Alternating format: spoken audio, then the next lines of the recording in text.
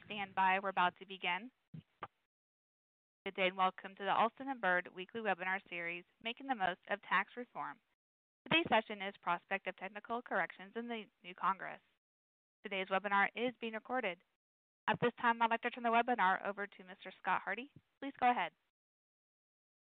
Thank you. Uh, good morning, everyone, and thank you for joining us. Um, hope you all had a, a nice holiday weekend.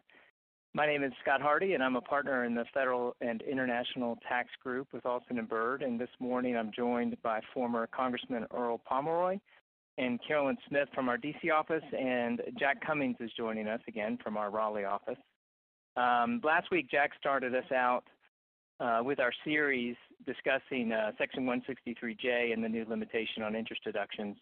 And just if you if you missed that and are interested in receiving those materials, the slides as well as the audio uh, are posted on our website. So you can uh, lo locate those on our website, or you can just email us, and we can make sure that you get those. Um, this week, we're going to be looking at the prospect for a technical corrections bill in the new Congress. And then uh, next week, just looking ahead, we'll be talking about the new qualified business interest deduction or income deduction under 199 Cap A, and then Following that, we'll be looking at the BEAT. Um, after today's call, you should receive an email. So if you are interested in signing up for other webinars and haven't, then you'll be able to do that. There'll be a link in that email, and you can register for other uh, webinars if you like. So just a reminder, our goal uh, in our webinar series is really to provide a general overview of the topics uh, that we're discussing and spot issues uh, that may be of interest to uh, clients. And we might not address a specific issue that, that you're looking into or that you're interested, interested in. So if you want to ask a question, please do so. We welcome questions. And you can submit those at any time during the call um, on um, your web browser there. and we may not be able to answer the question, um, but if we don't during the call, we will definitely get back to you on your question. And also, if you do type in a question, uh, please know that um, other participants on the call are not able to see those questions. Only we can see those questions. So we're going to do our best to stay within our 30-minute window today. Um, but there's a chance we might go over. We'll try to limit that. Uh, this morning, just given the nature of this topic, we've decided to um, have our discussion uh, in a format that's more of a conversation and, and not have slides. So uh, we really don't have slides to share today, so we're just going to have a, a talk. Um, and given our limited time, let's go ahead and get started. So I just want to introduce our um, uh, panelists. Um, Earl Pomeroy, we're grateful to have Earl join us as a former congressman. He served for 18 years as a member of Congress and on the House Ways and Means Committee uh, for 10 years. And now he works with clients on a variety of policy issues before legislative and executive branches of government. Um, Carolyn served with the Congressional Joint Committee on Taxation for 20 years, where she was the Associate Deputy Chief of Staff and counseled members uh, of the House Ways and Means and Senate Finance Committees. And uh, Earl and Carolyn work closely together on policy-related matters. Uh, Jack joined us last week, and he's a counsel in our uh, Raleigh office and DC office as well, and served as Associate Chief Counsel at the IRS. So let's get started. Um, from the beginning, when the TCJA was passed in December of 2017, there was a lot of discussion about the technical corrections bill. And so I, I think just before we begin, it would be helpful to have a common understanding of what exactly is meant by technical corrections. So um, I'm just going to ask maybe Carolyn, you can just briefly explain what a technical corrections bill is. Uh, thanks, Scott. Um, actually, um, as you mentioned, I worked in the Joint Committee on Taxation for 20 years, and um, uh, in that capacity, worked on a lot of technical corrections uh, packages. Uh, the first being uh, technical corrections to the Tax Reform Act of 1986. I started on the staff three days before the conference on that on that, and um, that was my first, and many followed technical corrections um, packages. Um, it is, just to start out by saying, it is not unusual for a bill of this magnitude to um, produce um, many, many uh, technical corrections. Um, any piece of large, large pieces of legislation often do um, for a variety of things. Uh, people are human and make mistakes, and also um, inevitably um, there's always whether the process, as with Tax Cut and Jobs Act, was pretty quick uh, all the way. There's always a very quick process towards the end, um, which makes the likelihood of errors increase. So, what do we mean by technical corrections? Well, in general terms, what the um, there is typically for a what people sometimes now refer to as a true technical correction, a very narrow definition. Um, and you know, typos and things and commas, you know, surely clearly technical. But beyond that, it's really things that uh, errors in drafting that are identified which do not properly reflect congressional intent at the time.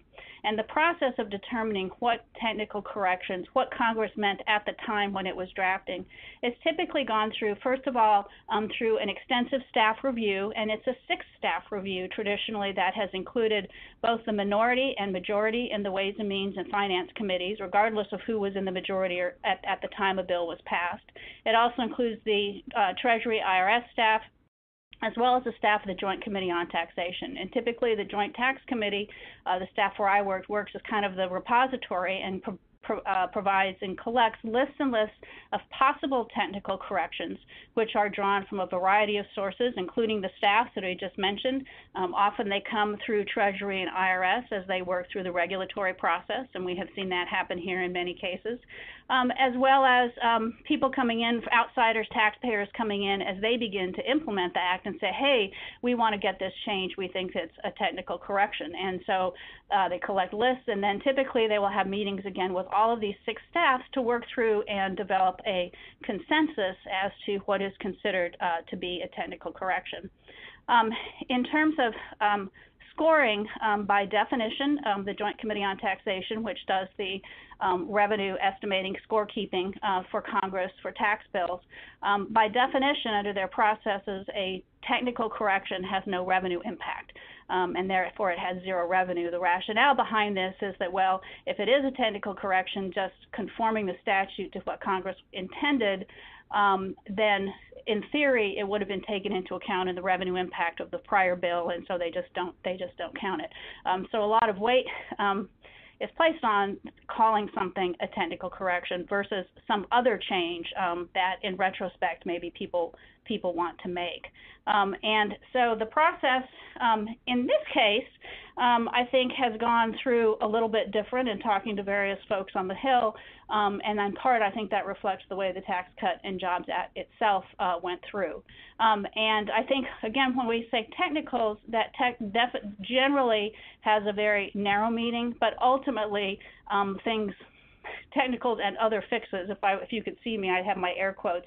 People um, just in, uh, often uh, use a wider um, definition of technical to mean things that they would like to have done, even though they might not fit this this very uh, this very uh, narrow definition typically what you have seen in the past in terms of a technical corrections bill, um, uh, particularly if there are big changes that need to be made, that you will see the four um, members, the chair and ranking member of Ways and Means and Finance Committee, introducing a technical corrections bill all at one time to reflect the fact that this is a joint product. Um, and I've seen that many times, particularly so if there's an effective date issue or something else, they want it to be out there and public to let taxpayers and the IRS know, hey, this is really um, what we intended it to be. Um, in this case, obviously, we haven't seen that yet, although um, uh, former Chairman Brady um, has introduced introduced a bill. Um, and so that's kind of uh, typically what happens. Again, this process this time is a little bit different, um, but that's the traditionally in all the 20 years I was there and since then that has gone on in terms of the technical corrections process. Um, so this this kind of uh, relates back, I guess, to the way the Tax Cuts and Jobs Act was passed. It was um, passed through the reconciliation process, which um, may or may not have been controversial but uh, it required a lower threshold uh, to make it through the Senate. Um, and maybe begs the question as to why, you know, prior to the recent change in Congress, there was not a technical corrections bill in 2018 when the Republicans controlled both houses. Can you kind of speak to that process as to getting um, the sure. bill through Congress?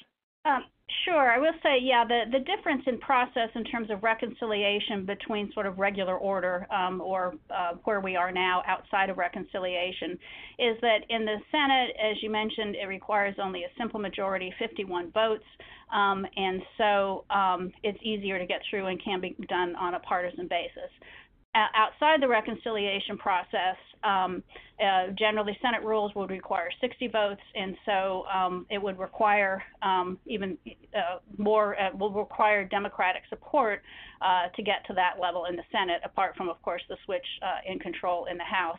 Um, the other thing I might want to notice is even if we were in a reconciliation, uh, reconciliation provisions have to have some revenue impact under the budget rules, and so true technical corrections that have a zero score won't pass muster.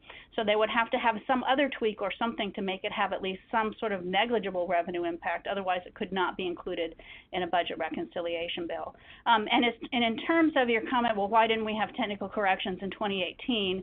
Um, in terms of uh, there actually was one one fix, which Earl we may get to um, a little bit later, but that it generally takes time for all of these things, technicals, to, to work their way out. The um, 1986 Tax Act, it was two years before technical corrections were passed, and so it's not unusual for it to sort of take some time uh, for the process to work its way through.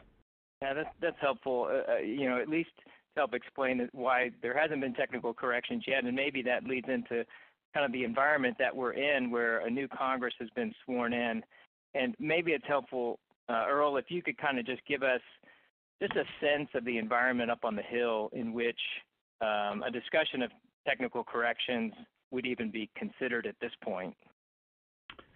Sure, Scott. Uh, you know, we're talking to you from Carolyn's office, where on the wall she has a picture of the signing of the uh, 86 Act. Uh, you have Ronald Reagan proudly stroking the pen and beaming uh, over his shoulder, uh, not just uh, at that time the Finance Committee Chairman Robert Dole, who we're very proud to consider a colleague here at Alston Bird, but Dan Rostenkowski, the Democratic chair of the Ways and Means Committee, who was also an essential part of the passage of that bill. Uh, this picture speaks to the bipartisan sense of achievement that the institution of Congress had as they'd passed that major tax reform bill.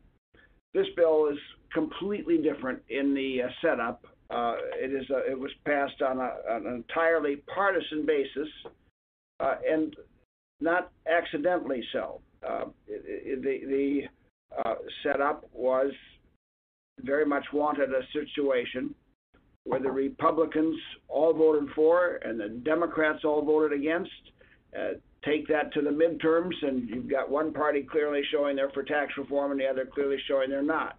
Additionally, you have uh, you have the stimulative effect of the tax cuts juicing the economy, so you have passed a substantial tax bill go with a roaring economy into the midterms, uh, and and that was frankly the political play called by the majority. You know, elections have consequences. They had the votes. They could do it that way.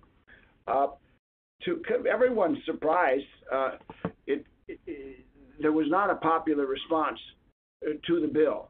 Uh, you speculate on reasons for that, uh, uh, uh and then I, you know, if, if I were to propound reasons, it would it would be just that speculation. But in any event, the election is held, and one thing is quite clear: there was hardly a popular response on the tax bill, notwithstanding the fact that the bill, although it was originally going to be revenue neutral, backed away from that promise. The bill focused on corporate tax reform, a very meaningful character that, that did have some bipartisan appeal.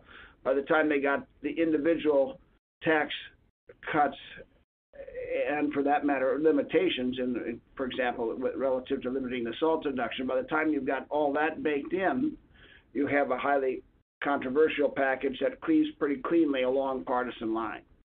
Well, you saw in the course of the year, uh, as as the bill didn't work, other proposals being announced. Chairman Brady in the fall of the election saying, "Well, we got tax cuts 2.0," and he rolled out another bill. You had uh, President Trump it, late in October saying, "And by the way, we're going to do another 10% individual cut." I, mean, I think these are just they weren't serious tax proposals. They were trying to capture the tax dynamic that just wasn't working for them heading into the midterms. Curiously, I, I do not understand the kind of effort that Chairman Brady put into the technical corrections slash extenders bill after the election. I like Kevin Brady, who served with him. I was on the other side of the aisle. Uh, he is a very agreeable by nature, but he certainly did not make outreach relative to try to get bipartisan buy-in uh, before the election. I think that was on a political call, but after the election either. So he had quite a bit of staff time invested in a te- technical corrections bill that had no bipartisan buy-in whatsoever and couldn't pass, with the Democrats not wanting anything to pass until they take the gavel for the for the uh, uh, the committee. Uh, what we're now hearing from uh, Richie Neal. Richie Neal is the incoming chair of the Ways and Means Committee. This is an important development.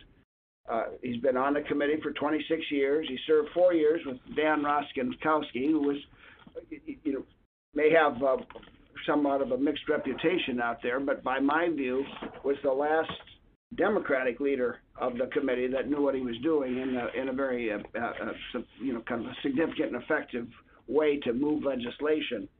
So he comes in with this pragmatic, more or less pro-business orientation. New members have now been appointed to the committee, about 10 new Democrats. Uh, uh, at least five of them are formally affiliated with the Blue Dogs of New Democrats, meaning these are kind of from the centrist side of the caucus. Uh, certainly all aspects of the caucus represented in the new members, but uh, was very aggressive in making sure that he had people he could work with. Uh, so that's the setup uh, as we come into uh, the, the, new Congress. Now, what does the starting bell look like? It looks like hearings. Uh, that's based on both the formal comments of the chairman as well as what their staff are telling Carolyn and me as we have met with them. There's a lot to chew on here with this new tax bill. And while undeniably both sides would agree there's a no small number of hiccups in there that need technical corrections, and in a bipartisan sense, you'd have these things moving forward pretty expeditiously. When you have the new majority on the Ways and Means Committee with no buy-in and no uh, uh, uh, familiarity, really, with a lot of these provisions, uh, they're going to be spending some time in hearing status before anything moves. You mentioned deal making, Scott. There is the tax extenders. A lot of tax provisions Democrats like expired at the end of the year. They were not extended. I think some of these uh, provisions, technical corrections provisions, could be part of an extenders deal, but it won't happen soon. There's going to be some study on this before anything happens. I think. Uh, what, what do I mean by that? I mean I mean months. You know, but but a good chunk of this first year, uh, trying to assess what what's what has happened with this bill and and where the new majority will take it. Oh, yeah, if I can just add um, to that in terms of, of course, one of the things that kind of um, messes up um, any sort of tax legislative schedule, in fact, the legislative schedule in general, is that we still have an ongoing government shutdown. And so the first priority for the Congress is working with the administration to get that resolved. And um, the longer that that goes on, the longer it makes some of these, makes it more, you know, the committees will not sort of hold off on their normal agendas forever, but it makes it hard to address anything else. And so, for example, um, the tax extenders that, that Earl mentioned, you know, there had been some hope. Um, really, I mean, there's a lot of interest, um, uh, certainly in the House Democrats, but bipartisan interest in the Senate in trying to get extenders done. And the new incoming uh, Republican Chairman Grassley has also expressed interest. Um, uh, and these would be extenders um, that would, for provisions that had expired, and so to extend them retroactively for 2018. So they need to get done fairly quickly um, because we're already about to begin the filing process. And so the more the shutdown gets delayed, the more an extenders discussion can get delayed, and that will impact um, um, other uh, other issues as well, like technicals. That's, helpful. So just to um, to go back real quickly to something I think you said, Earl. Um, exiting Chairman Brady introduced uh, his technical corrections bill, and in terms of Chairman Neal moving forward with hearings, is is the Brady bill essentially just an unhelpful document, and, and, we're just kind of starting from scratch, or is there are there components of it that might be useful to Chairman Neal's efforts, or what do you, what do you think about how, kind of how Chairman Brady left? Well, I don't think that uh, the new chairman will view it, you know, like well, whatever Brady did, we're going to do the opposite, and it's got no consequence. I just just not the way Richie Neal approaches things. On the other hand, again, there, there, there's zero buy-in. I I think that if you look on a, uh, on positive side, maybe you could take a look at uh, Brady's technical corrections bill and say, well, here's where the outgoing majority say uh, there's some problems with the with the text of what we passed, and we need to fix it. And and so you know those those a lot of these problems are just tax practitioner matters, and they're not uh, tax policy matters. They're not necessarily grist for the political debate. You know, there's a lot of things in there people could probably agree on. Uh, but it, one thing's for sure, it's not going to be well. This is the this new Congress is just going to roll forward with that technical corrections bill that was built in December. It will be built from scratch, yeah. and uh, mm-hmm. and I, so I, I think that uh, the, the former chairman's work in maybe identifying some things that need attention is helpful. On the other hand, the former chairman did not uh, invite the new majority to participate last year, and so they're not going to they're not going to be giving it particular credit on a political basis. Now, some of its technical strength may uh, may make the, the document still meaningful. Mm-hmm. And I think that there there are a few sort of high level issues that folks have acknowledged on both sides of, of the aisle that sort of need to be addressed. Um, and I do think that at some point there will be a technical corrections bill, whether there are, you know, certain um, things that are viewed more time sensitive get pulled into this piece of legislation or that. Um, but but ultimately, I think that there will be um, there will be something that happens that but but not soon for most things, I would say. Mhm. Well, maybe in terms of uh, that process, um, you know, the Blue Book refers to technical corrections, I think like 70 or 75 times, quite a lot. And you know, clients certainly know that there's a lot of issues out there that are material for certain clients. Um, as as we go through this process, kind of what what should clients be doing or or thinking about um, uh, as, as Chairman Neal proceeds with, with looking at technical corrections, if they have issues that you know they want considered in that process.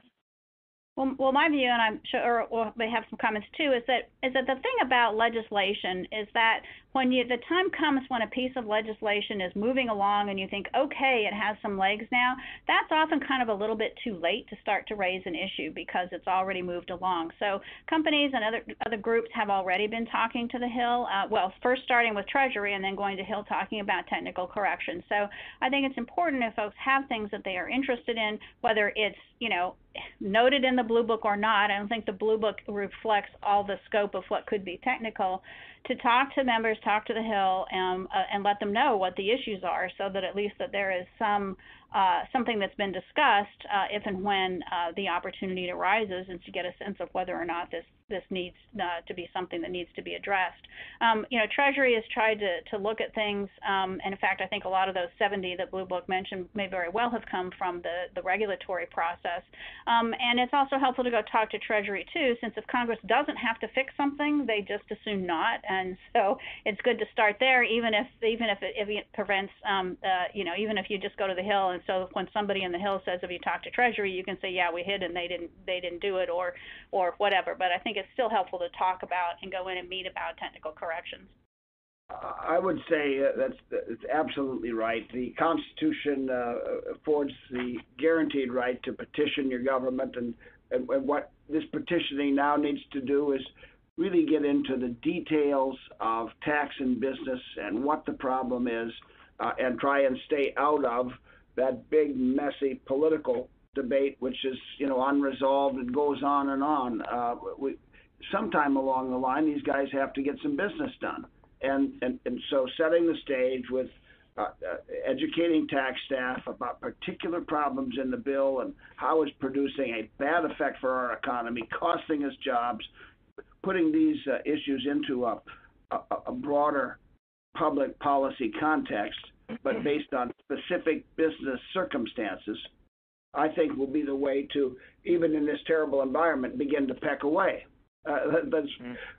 uh, let's uh, reference the uh, the one substantial fix that happened already, the uh, the, the, highly uh, publicized grain glitch, which happened last year. A a provision was added late for farm grain co-ops. Well, it, it, in actual effect, it gave the co-ops a, a, a competing with businesses that are also in the grain business but not structured as co- cooperatives a clear, meaningful tax advantage. It had to be fixed. It was just completely unfair. Uh, but it wasn't resolved based on the issue itself. Democrats demanded a hefty pound of flesh to fix it last year in the context of uh, uh, new support for, uh, for affordable housing uh, tax credits.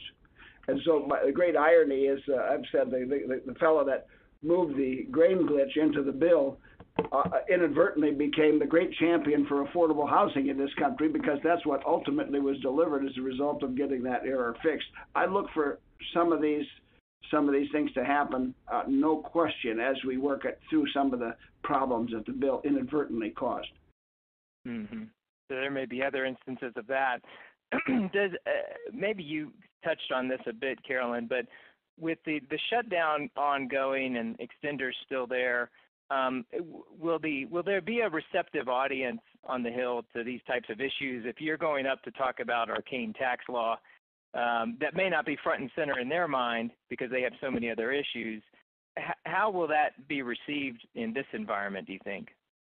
Um, well, I think as Earl said, I mean, the shutdown is a big political issue and on everybody's mind, and there are issues surrounded that. But people are aware that there are other things going on, and I think if you wait until the shutdown's resolved, you know, other business is going on as well in the normal business, um, uh, as it, as it would in a in a new Congress. And so I think I think you still need to kind of go and, and and talk to people if you have issues. Um, as, as Earl said, at the more mundane of technical tax issues. Um, um, but but waiting until this shutdown ends completely before getting in touch um, could could um, be not helpful to folks. I would suggest uh, trying to identify a constituent link to one of the members of the Ways and Means Committee, uh, the majority, uh, and and going in and the conversation starts something like this: We're a proud constituent. We have X number of jobs. We uh, are making this investment. We support community activities in this way and that way. Oh, by the way, we have a problem, and and getting into the details of the tax problem, but hooking it. These these members of Congress, they're supposed to take care of the circumstances of their constituents. And if it's a corporate constituent with a business tax circumstance, well, they're supposed to take care of that if if they can be uh, persuaded uh, that there is a policy interest in addressing this, not just a business favor. Uh, you know, we, gosh, our earnings didn't come in quite like they wanted because of this deal. That may or may not be persuasive, probably not so much, but put it in the context of jobs and, and the, the, the role of the, the, the constituent interest in the district, and that's how you engage people really outside of this messy, nasty, broad po- uh, partisan fight. That's that's just doing particular constituent business, and I think there's, there's I think there even in this environment still an opportunity to move that kind of thing forward. That's great. Um, I, I kind of want to look at the flip side of this real quickly. Um, yeah, in some cases, taxpayers and pra- practitioners have wanted the IRS to maybe take some action to fix some of these glitches in the law, and the IRS um, may not feel like it has the authority to do so, which essentially puts um, the ball back in the hands of Congress, and we're talking about technical corrections as a result. In other cases, um, the IRS may be exceeding its authority. Perhaps taxpayers or practitioners aren't very happy with the, the regulations that the IRS has put out. And so there's a sense that maybe there's some overreach there. And, and um, Jack, I was hoping you could speak a little bit to when a taxpayer senses or practitioner sense that there has been some overreach beyond what the statute requires. How should how should clients be thinking about that? What um, opportunities or action could could they take in those instances? We think that in today's environment, um, there are many opportunities for taxpayers uh, that may not have existed 10, 15 years ago uh, in in disagreeing with uh, with frankly the uh, large uh, raft of uh, proposed regulations soon to be finalized under the 2017 Act. In general, the proposed regulations made quite a few taxpayer favorable calls. However, there are uh, definitely taxpayer unfavorable calls, and there are also other things uh, that were not dealt with in the proposed regulations. There will be many, many audit disputes or prospective audit disputes that uh, taxpayers are can anticipate as they are filing their returns, and therefore taxpayers are going to have a lot of choices to make in terms of how to report, uh, frankly, mostly cross-border transactions. Uh, and uh, secondly, how to deal with their financial auditors, because the financial auditors uh, tend to be very uh, strict um, on uh, uh, taking tax positions without you know pretty tight legal opinions behind them. So we we have already heard from uh, two or three uh, large taxpayers with this type of problem about reporting uh, transactions already under the new act, particularly under Section 965. If you, once you work through uh, taking your reporting position and, and however much you know backup that requires in terms of a legal opinion, and you satisfy your auditors and you perhaps get into an audit or pay a tax that you don't think you should have paid and you want to have it refunded, you, you, a lot of taxpayers are going to be facing litigation under the provisions of the 2017 Act. And, and as I've indicated, today is a new day for uh, tax litigation that uh, contests uh, even uh, very well thought out positions that the Treasury has taken in a regulation. And we need only cite one case for that, Altera, which I'm sure most people on the phone have heard of, as an example of how uh, it's easier than we ever thought to uh, overturn a Treasury regulation. Also, um, the uh, principle of Chevron deference to uh, at least to legislative regulations is under heavy attack, and there's a wide expectation that the Supreme Court will revisit Chevron deference in the next few months, frankly, before it goes on vacation in, in the summer, and may actually uh, overturn the Chevron decision. So, in, in conclusion, if if a taxpayer faces uh, taking a, uh, a, filing position uh, contrary to one of these many proposed regulations of the 2017 Act that it does not believe is right, taxpayer will have uh, basically two ways to go. Either the regulation is a legislative regulation uh, under some specific grant to, in effect, write the law. And if it is, then under the the Altera approach, the government's going to have to explain is going to have to have explained itself really, really well, and really cogently, and really uh, uh, uh, uh correctly in its preamble, and that's why these preambles are so long. Uh, else, it it stands a good chance of uh, losing and losing Chevron deference. Con- contrariwise, if the regulation purports simply to be an interpretive regulation, not a legislative regulation, but simply Treasury's view of what the words of the statute means, those regulations have get basically no deference at all in court, and the taxpayer is pretty much free to argue to the court a different uh, interpretation of the statute, and, and the, most courts are going to feel pretty free to adopt those different interpretations. So either way you go, taxpayers uh, who disagree with these proposed and soon to be finalized regulations will have a lot of ground for litigation. And uh, as I indicated, it's a new day for that, and and taxpayers with large dollar amounts at issue should really be thinking about those litigation and, and, and, and dispute opportunities. Yeah, that's great. And Jack, thank you for giving us that perspective. I, I think it's important for clients to consider both of these alternatives, whether it be a technical corrections or uh, looking at the regulations and potential challenges. Um, and, and we're going to touch on this on the series as we review the regulation packages. We'll bring to light areas where there may have been some overreach. Um, if we don't have any questions, I think that'll draw us to a close. Sorry we went a little bit long, but that was very helpful, everyone. Um, thank you for joining us, everyone, and uh, we look forward to speaking uh, with you next week about uh, the business income deduction, and um, we will um, talk to you then. Thank you. This does conclude today's conference. We thank you for your participation.